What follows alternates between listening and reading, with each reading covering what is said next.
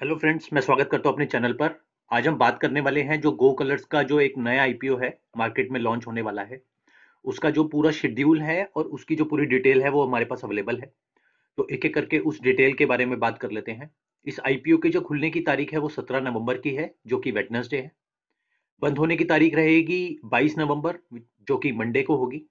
Face value की अगर बात करें तो एक शेयर का जो फेस वैल्यू रहेगा वो दस रुपए का रहेगा। इशू का जो साइज़ होगा वो लगभग एक हज़ार करोड़ के आसपास होगा। रिटेल का जो कोटा इसमें है वो सिर्फ़ और सिर्फ़ दस परसेंट का ही है।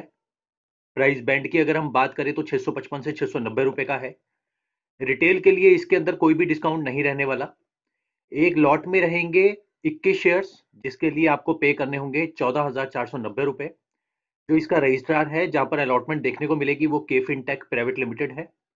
इसकी लिस्टिंग होगी बीएससी और एनएससी के टर्मिनल पर।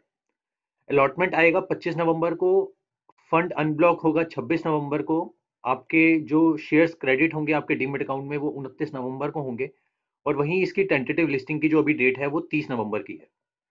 तो अभी फ़िलहाल की अगर बात करें तो इसका ग्रे मार्केट प्रीमियम लगभग 25 परसेंट के आसपास का चल रहा है विच इज़ क्वाइट गुड तो इसके बारे में अगर कोई और भी इंफॉर्मेशन मिलती है तो मैं एक सेपरेट वीडियो ज़रूर बनाऊँगा। तो till the time happy investing thank you so much